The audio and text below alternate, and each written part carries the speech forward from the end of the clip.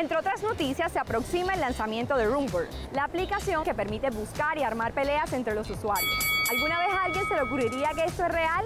Imagínense que sí, que sí, sí. Esta noticia falsa duró causando revuelo muchísimo tiempo en redes sociales y siendo compartida por periodistas en medios. Más adelante se supo que en las tiendas de aplicaciones nunca existió el registro de esta plataforma en ninguna de las tiendas de aplicaciones y que todo se trató de una broma planeada por un ejecutivo de mercadeo estadounidense. Así como esta, existen muchísimas otras noticias falsas.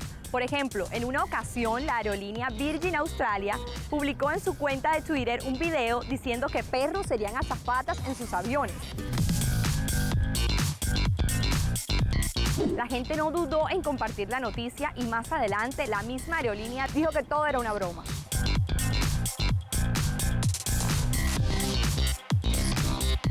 Eso creamos Verdad Digital, esta nueva sección de Vive Digital TV que busca desmentir las noticias falsas o las también llamadas fake news. Para aquellos que no lo saben, a una noticia falsa también se le llama bulo y es el intento de convencer a un grupo de personas que algo falso es real. Por eso les quiero dar cinco recomendaciones para no compartir noticias falsas. Primera recomendación, observar bien la URL. Muchas veces es copiada o en el peor de los casos inventada.